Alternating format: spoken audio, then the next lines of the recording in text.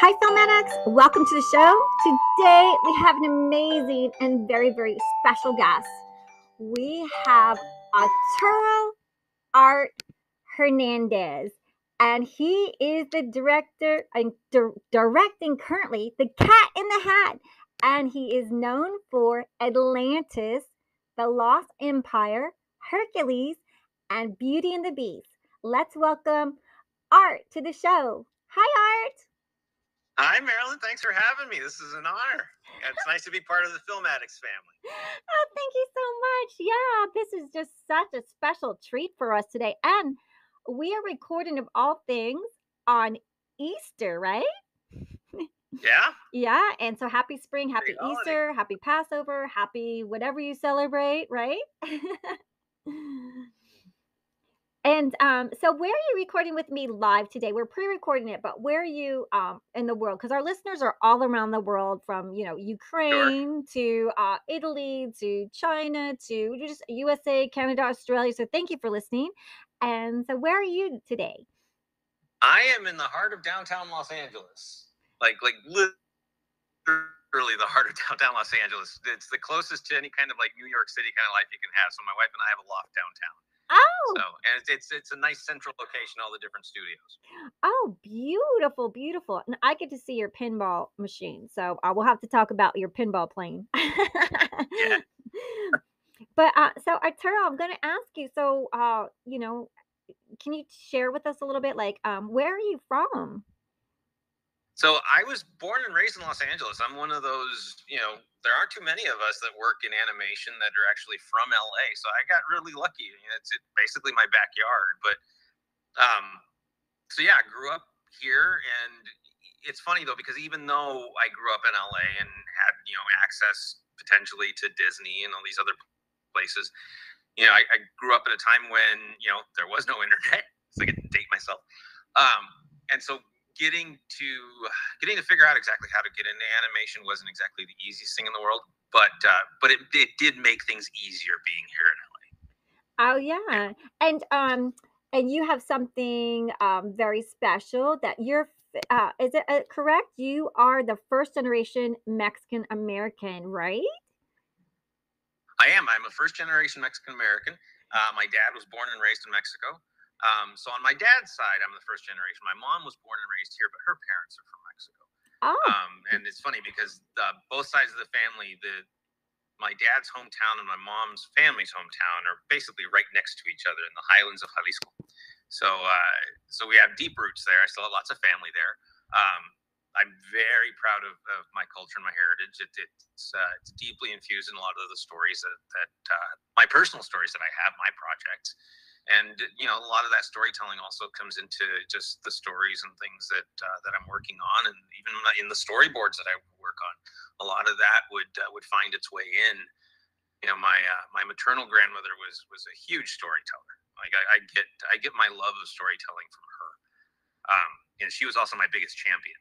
You know, nobody nobody was was a bigger supporter of you know my artwork and just my passion for for filmmaking and animation than my grandmother. So I deeply miss her, but uh, but she was a huge influence. oh. So can you tell me you so you started drawing at an early age, right? I did, I did for as long as I can remember. Um, shoot, I guess the, my earliest memories of it would have been like kindergarten around that age. Um, I got in trouble for it a lot in school because it was one of those, you know, learning learning when was the right time to draw. Uh, I I do remember getting in trouble in fourth grade, and uh, I, I- if I remember correctly, my teacher was Mr. Young, and and I got very lucky because Mr. Young, I found out many years later, was uh, was an art major in school, and so rather than uh, rather than send me to the principal's office, he called for a parent teacher conference and sat down with my folks, and he said, "Look, you know, he's got a talent. You know, it should be nurtured."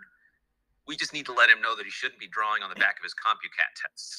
so, which, which I was much, much, much more happy to do than uh, than sitting down and doing math. I suck at math. I still do.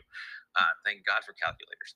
Um, but uh, but it was thanks to to Mr. Young that my folks, you know, saw that this was something that uh, that was important to me, and it was just a matter of uh, of making sure that I, you know, would do it at the right time, right place.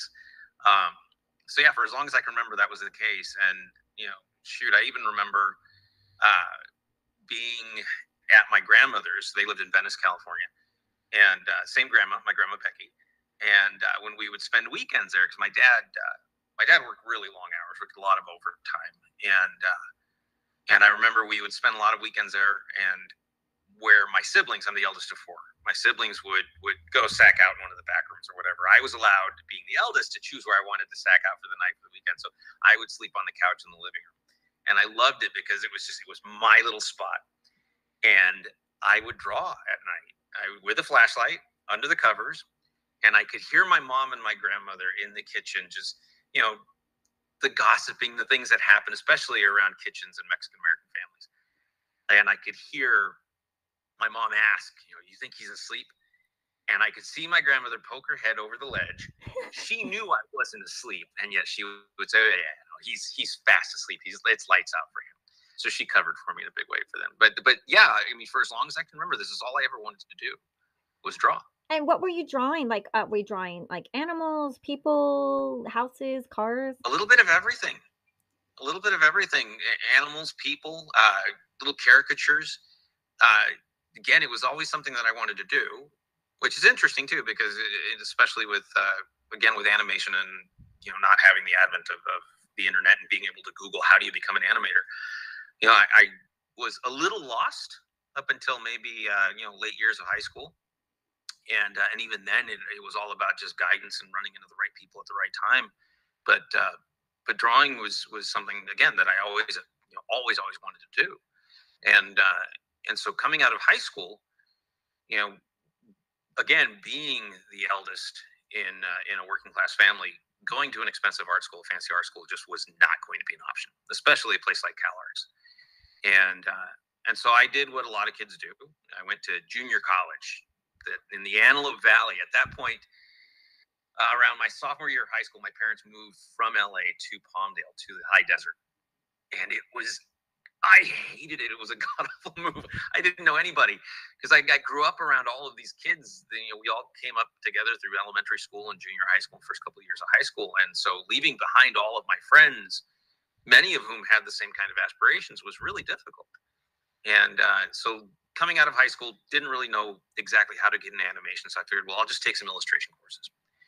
And uh, and it was then that uh, one of those teachers, uh, Frank Dixon, who's still teaching, um, he had an illustration course that I was taking, and one of the assignments was to take an illustrator's work, someone that we really admired, you know, and to try to mimic that work using the same kind of mediums that that person would use. And we could choose someone that was either dead or alive, Maurice Sendak, or whoever. Well, being a huge Disney geek, I immediately went to the Disney press books, and there were several that were that were uh, illustrated by a wonderful man named Ron Diaz who has since passed away. And uh, and I took a shot. I figured, well, I'll try to get a hold of him. And so I got the main line number for uh, for Disney. Kept getting the runaround, you know, asking for Ron Diaz. And so, like the sneaky jerk that I was back then, I called and, and waited for someone new to answer the phone, yes. line, and and I told told them that I was with the LA Times and I was I, was, I needed to do some fact checking and a follow up on a, an article that I was writing on Ron Diaz and I needed to get hold of him quickly, and they patched me through. Oh my god! So, so that's what I did. And I left him a message. I told him who I was. I said, "Look, I'm just this college student. I would love to interview you. I would love to talk to you about what you do." And being just the amazingly gracious person that he was, he called me right away and he's like, You want to interview me? Said, Yes, please. So he invited me down to the main lot. And uh, and so I went down and I got to walk around the whole place with him. And I just every ounce of passion that I had for animation was just that much more increased by being there with him. And he was the one that said, he's like, look, he's like, Sure, you don't need CalArts. You don't need all of these other schools. He's like, you need a good portfolio. He said, and the reality is, is that there are these classes that are being taught by the union over at the American Animation Institute, same union that I now belong to, the Animation Guild. And he's like, you, and he told me, he's like, you don't have to be a union member. You just have to be a high school graduate. They're not the easiest classes to get into because you got to call right away. You got to try to squeeze in there. And I got lucky, and I did, and I did 12 weeks of figure drawing with Glenn Vilppu, who many of us know in the industry. Oh wow! Uh, just a phenomenal uh, figure drawing teacher, and he still teaches. And uh, and I did 12 weeks of just constant figure drawing. I think I was there twice a week. And then I did uh, with that. I was also taking an assistant animation course with um, with oh gosh, was Alex? Uh, oh, why does his name escape me right now? Anyway, Alex. Uh, and after those 12 weeks, I put together what I then figured out was what an animation portfolio needed to look like. And it was chock full of figure drawing and animal drawings, whatever. Whenever I wasn't at these classes in North Hollywood, I was at the LA Zoo. Now, mind you, I was driving from Palmdale to these classes or to the LA Zoo Oh, constantly, just do that stuff back and forth. oh, that's brutal. That's determination. Oh, it was. Oh. It Oh. was an awful drive Did you have air because I was still conditioning? living at home. Did you have air conditioning or good music? Yeah, just air conditioning, and good music, and and that was that was my life for 12 weeks, and and they went by fast. And I so I finally had a really good portfolio that I was comfortable with. Dropped it off all over the place, and uh, two weeks later, I got a call from Turner Feature Animation. Oh my god! and they said, "Hey, we've got this movie, Cats Don't Dance. It's uh, it's you know we need a cleanup artist, which was entry level for traditional animation, and you would come in as an in betweener, but we need you to come down and take a test." I said, "I'm there." So I, I went down, I took a test, and within a few days, I got a call asking if I wanted a job, Ah, and. I, I just remember my legs turning to jello. I, I nearly passed out. And I think one of my favorite stories, I guess, for me, just you know, the different events in my life, the miles, milestones for my career, was the day that I went down to sign my contract. Now, at the time, this was like this is you know still on the big like heyday of animation. It was it was the the uh, return of 2D animation, and I didn't realize that I could have negotiated. I just I went into the office. They showed me the contract, and I I saw how much they were going to pay me. And I asked, "Where's your pen?" And I signed right away. I signed right away. My dad, uh, my dad and I drove down together that day because my dad at the time was working for Forest Lawn. He was a building painter for 35 years. You know, working class dad. And, uh, and he said, "Look, he's like, why don't uh, why don't we drive down together? It's a long drive. You can drop me off over in Glendale, where the hub is for Forest Lawn, and uh, and you go off. You do what you need to do." So after I signed the contract, I went over. I picked him up, and we were driving home together.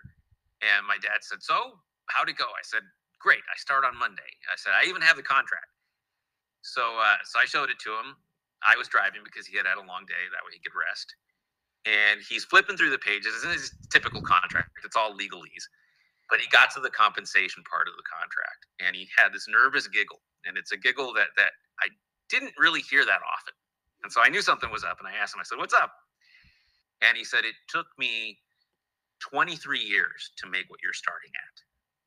And so it was at that moment that I realized that my dad was truly proud of me because Oh. for a while it took a lot of convincing, which is really typical, I think, for any family, you know, that, that has an aspiring artist. It's even more difficult when you come from a very Mexican Catholic family where your parents don't want you to be a starving artist, right? And so, uh, so that was when I think he realized that I was going to be okay. And now, 28 years later, yeah, I'm doing fine. I don't think I've ever had a break in employment. It's been just in uh, a constant, just you know, one step after another.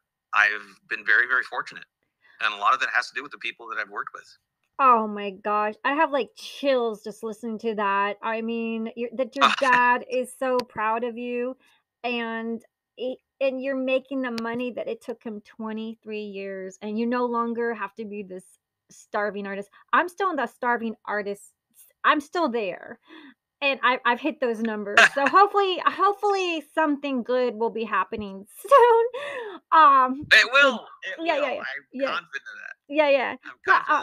But I, I want to ask you. So, uh, can I just ask you real quick because you said your beloved, your beloved, our, our, our. How do you say the name? Our. My abuelita.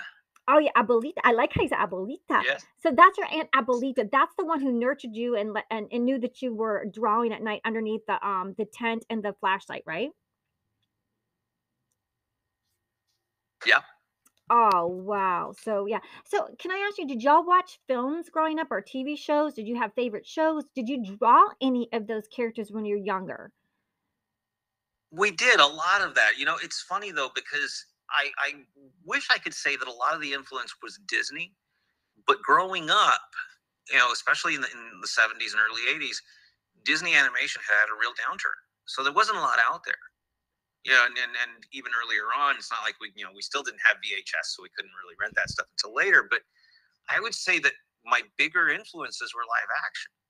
You know, and and and hands down, I mean, my generation, it was Spielberg you know, year after year after year, or, or George Lucas, but but easily Spielberg, and, and those I think were my biggest influences in, in storytelling across the board. And I, I would have to say that, you know, if I had to pick just one movie, even though there are many, you know, I, I would have to say it's E.T.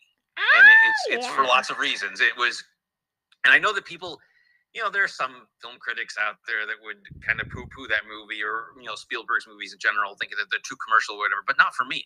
For, for me, they were my childhood. For me, they were they were the biggest influences, and they still hold true. And for for me, it was it was knowing that I was Elliot's age when I saw it in the theater. It's the one movie, and I'm I, I'm pretty sure that I had seen other movies in the theater prior to that. I just don't remember them. This one I remember, and and it was because I was Elliot's age. I was, you know, eight going on nine, and and you know that you know to that wish fulfillment, right? Of being there in the audience and and wishing I could be him, you know, and what I would do if I had, you know, found an alien as a friend and brought him inside, and and that still sticks with me it still sticks with me. It, it um, you know, the idea also, you know, looking back on it now that that everything in that movie, you know, up to a certain point is all from Elliot or ET's height, from their vantage point. It's always a low camera. You don't see an adult other than mom until the adults have a really active part in changing the relationship between Elliot and ET. You know, and it, it's so impactful, I think, because of that. And the kids are still they you, they they ring true. They are authentic, and it's it's funny because like I was saying that oftentimes, you know, not only my grandmother's stories, but but the movies that influenced me still find their way into different scenes that I, that that that I work on or, or storyboards that I've worked on. You know, I, I would have to say that one of the one of the sequences that I still am very very proud of is is from one of the Tinkerbell movies, which I think it was the third Tinkerbell movie, which was uh, Tinkerbell Fire and Re- not Fire Rescue. Sorry, that was another Tinkerbell uh, and the Great Rescue. I think is what it was. And the story revolves around this little girl who uh, who captures Tink, and she's a huge fan of fairies. She's got them all over her bedroom, and she manages to catch Tink, and they can't communicate with each other because Tink, you know, to human ears just sounds like little bells. And Lizzie was the little girl's name, and I got to storyboard that whole section when Lizzie proudly brings Tink into her bedroom in a cage, in a, in a, in a bird cage, and lets her out and shows her all of the different things in her bedroom. And I tapped into that whole moment with Elliot in the bedroom with ET, showing ET all of his toys. So you know those those things still have have a huge impact in in everything that I do and everything that all the stories that I tell. Oh my god, that's so incredible. So you're you're watching ET and then you're actually storyboarding an ET like scene in um the Tinkerbell movie. That is so cute. I mean, it's just I, I was like up to is it Goonies or ET? Goonies or ET? I was like, hmm, you know, it's it's it's it, they're all toss up Spielberg movies, right? So we might have a little internet um, Wi-Fi. So hopefully we're coming back. But I'm talking with Art Hernandez, who is uh, the direct. He's directing Cat in the Hat, and um, he's got so many fabulous credits. Hopefully, um, our internet will come on back. Let's just see if it's coming on back. And um, we're having a fabulous conversation with Art Arturo, and also, um, you uh, he's co-producer of My Little Pony, which I can't. I'm excited to find out um more on that. So we have Arturo back. Hi, Art, you back? Yes. Yeah, yeah. So I just talked while um the the what the internet. I just recapped a little bit, and uh, Okay. yeah, yeah. So our audience kind of knows that we inter we're we're by the mercy of internet. You know what I mean? Absolutely. Oh, I know that well. yeah. And it's like if life could only get better, like we have COVID and it just never will go away, and then like something new, and we're just you know there's we're just just thankful for every day that we have happiness and joy and just doing the things that we love. Yeah. Oh, Yeah. I agree. So, but I I, agree. yeah, I asked you like, um, did you cry at all when you were watching ET? Did you did it did it? Oh yeah. I was Oh like, yeah. did you do the shoulder thing where you you pretended like you weren't crying, didn't want anyone to see? you wiped your eyes. Oh no, I think I think I cried unabashedly. So, yeah, it's funny because I just recently watched an interview with John Oliver, and apparently that was a big influence on him as well. And he remembers being carried out by his parents. He's just a few years younger than me, so he was carried out by his parents, and he was in tears because he could not figure out why Elliot did not get on that ship with him with ET. So, yeah, no, it, uh, it, like I said, it was it was all ET all the time when I was at at that age. So. Yeah, Yeah. Yeah. And I was like, it was like, do I like Goonies more or ET or Gremlins? And I'm like, I like them all. It's really hard to choose, but you know, it's like I, I I'm I, I'll just yeah, those are my favorites. I actually wrote a script that um is kind of like an ET meets Home Alone of all things, and it's an alien. And um Oh, cool. yeah, yeah, yeah. So I think that like you're like, I'm not Spielberg, but you know, he's the master, but there might be different versions of people wishing that they can like make it fortuitous. Oh, absolutely, absolutely. Yeah. I mean, that's what's so great about about you know stories like that is that it, it's it's wish fulfillment no matter what. You know, it's it's why so many of those stories still resonate.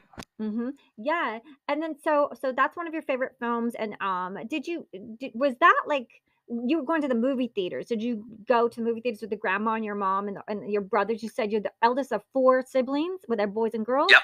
Yeah. Yeah, Yeah. Uh, my sister Lily, she's second, and then my two younger brothers, Raul and Alberto, Ah. and uh, we're all very close in age. My sister especially, we're almost Irish twins.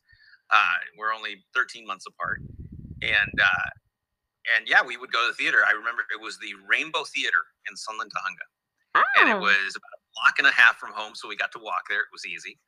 Um, it's no longer there, unfortunately, but you can see it actually in the background of Teen Wolf, yeah, where where uh, I think it's Stiles and his buddy are trying to, you know, they're trying to, to use a fake idea to get a fake ID to get uh, to get booze, and in the background you can see the rainbow arch for the Rainbow Theater. So that is that at least lives on. But uh, but that's where we would more than more often than not see our movies. Oh wow! Now, did you get the big popcorn and like, was your favorite like malted uh caramels or M and m and peanuts? Like, you, did you guys? Because uh, there's a lot of you there. Did, did you guys have your favorite snacks at the movies? I, I think it was almost always sharing a popcorn. Yeah, yeah, they have the best popcorn, and like, please put butter on it. I don't care if it's a lard, just put it oh, on heavy there. on the butter, absolutely. Yeah, and then you realize like later, it's like you know that's lard butter. And like, I don't care, it's delicious, and it's Yeah. needed at a movie. No, absolutely. yeah so um yeah i'm gonna ask, let me just see like um uh, we want to get into a little bit about directing yeah we have time like who's your favorite one of your favorite directors Um, I would still have to say uh, Spielberg easily, easily. Uh, you know, there are some of his movies that I like more than others, but uh, but I would still have to say he's my favorite. And again, because of that that influence that he had on my life. You know, it, it's it's in a way like his movies are like the soundtrack of my life. Like I I can I can identify you know just based on on timeline and his movies kind of where I was in life and what I was doing. So yeah, I would still have to say him. Yeah, and and I, and I think beyond that, it's it's really all of the different directors that I've had the the pleasure to work with. You know, and some that I haven't had the pleasure to work with. You know, the the really great thing, what I mean by that is that there are some directors that I would probably never want to work with again. but they are all a learning experience. I mean, for me now as a director, I've, I've it's given me the opportunity to take every one of those experiences and you know become the director that uh, that I want to be, the type of director that that the people that work with me, you know, years hopefully later can say that they enjoyed the uh, the experience. You know, they had fun. Yeah, and do you have a favorite um a film shot, a moving scene from a movie that uh that is one of your favorites? Yeah, I think we, we did we actually we just talked about it right now. It's that moment with ET and Elliot in the bedroom. You know, it's it's the you know, it's God, John Williams. What a genius. You know, it's it's the subtlety, the, the just the soft, quiet quality of that score in that moment. You know, and then and again, keeping everything low and and you could you could kind of tell really that that Spielberg just let you know uh, let them do what they wanted to do, let the kids kind of you know own the character, and that to me was really really great. It's it's still still holds true. I mean, and, but there are lots of other things that, that, that like I really love Coen Brothers movies. Um, I believe one of them is The Man That Wasn't There, and uh, it, I think their shot choices are amazing. And it's the other thing to me is just the cinematography of all of, of all of it. Uh, Guillermo del Toro is another one who I absolutely just just love watching everything that he does. You know, from The Shape of Water to uh, to Pan's Labyrinth, obviously. Oh, um, Pan's um, Labyrinth. Oh my yeah. gosh. My goodness sakes, beautiful. Ah, when Yeah. yeah, that's a good one. and he doesn't he doesn't mask the violence which i think is is also so commendable it's it's his stories are still very much a fairy tale but but can go really dark which which which i really love Oh, yes, it's incredible. And so, um, and as um, we're we're gonna probably um be wrapping up that part one, and we're, and we're gonna ask everyone to come back to part two because we want to get to like your directing, your storyboards, My Little Pony, uh, the Cat in the Hat. We just have so much more stuff to go. But um, uh, just like uh, when learning to direct, like going from uh, you you did you always do storyboarding? Like that was when you said you did the um thing. Was that how you started with storyboarding, and then you went no, to no actually i started as a traditional animator i started as a cleanup artist and made my way up to assistant animator key assistant animator and then the uh and then the rug got pulled out from under me and a lot of other people over at disney when they switched from 2d to cg oh from traditional to CG, and I was lost. I didn't know what to do. They had some classes in Maya that they had a couple nights a week. I was coming home to my wife with a headache every night that I had a class. So my brain just didn't work that way. It was far more math based. I wasn't drawing anymore. I didn't have a pencil in my hand. It didn't feel natural. And I know that for some people it clicks and it works and God bless them because they can produce amazing work. But it it forced me to uh, to reevaluate what I was going to do with my career, and that's when I switched to storyboarding. I got oh lucky.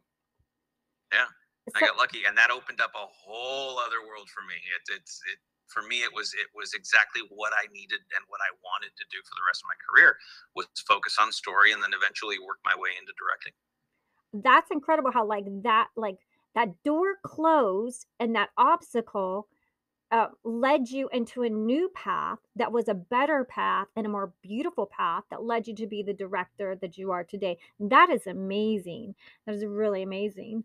Um, so we're going to end part one with Art Hernandez, and we're going to ask everyone to come on back to part two with Arturo Art Hernandez, who is directing The Cat in the Hat and co-producer on the film My Little Pony: A New Generation. And and we have so much more to talk about how his first how he worked on his first feature film, right?